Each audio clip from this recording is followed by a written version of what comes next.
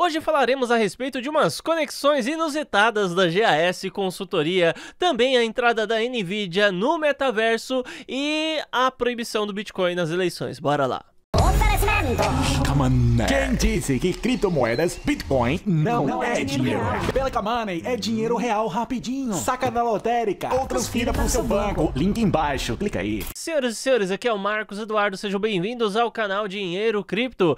E se você gosta de Bitcoin e criptomoedas, desde já te convido a se inscrever e ativar o sino das notificações. Deixa um like também, assim você diz pro algoritmo que esse tema te agrada e que o trabalho que o Marcola tá fazendo aqui aparentemente é bacana. E bora lá!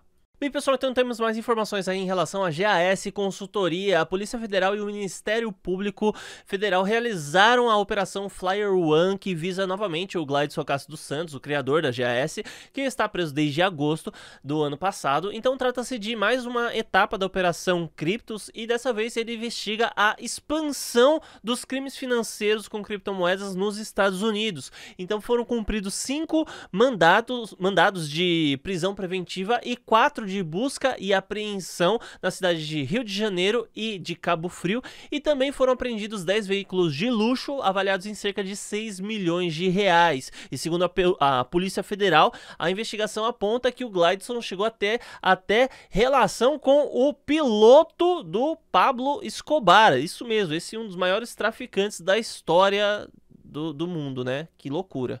E meus amigos, sabemos que o metaverso é o futuro. Depois do Panda, do Coringa 18, todo mundo teve que ficar em casa. Essa história de home office realmente virou moda e as empresas perceberam que é muito mais fácil, prático e rápido todo mundo trabalhar de casa, reuniões à distância, aula à distância também, né? Tudo mais barato e, e simples e economiza tempo das pessoas, né? Você fazer as coisas à distância.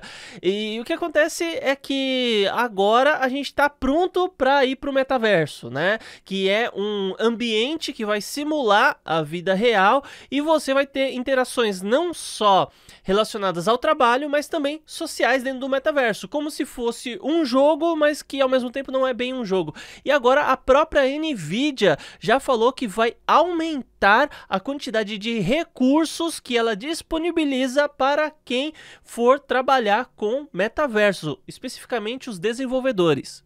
Pessoal, e olha só, o TSE acaba de proibir novamente doações durante as eleições em Bitcoin e criptomoedas. De acordo com o TSE, as doações devem ser feitas de maneira plenamente identificável, mesmo que seja pela internet ou financiamento coletivo, deve constar o CPF de quem fez a doação, a quantia exata e deve estar tá tudo ali registradinho e marcado. Mas o que, que você acha a respeito disso? Comenta aqui para mim. Realmente deve ser tudo público ou deve ser igual acontece lá nos Estados Unidos que pode aparecer umas quantias em Bitcoin no bolso do político no meio da eleição. Bom, então deixa aquele like para fortalecer, não te custa absolutamente nada, você ajuda a gente pra caramba. Muito obrigado e até mais.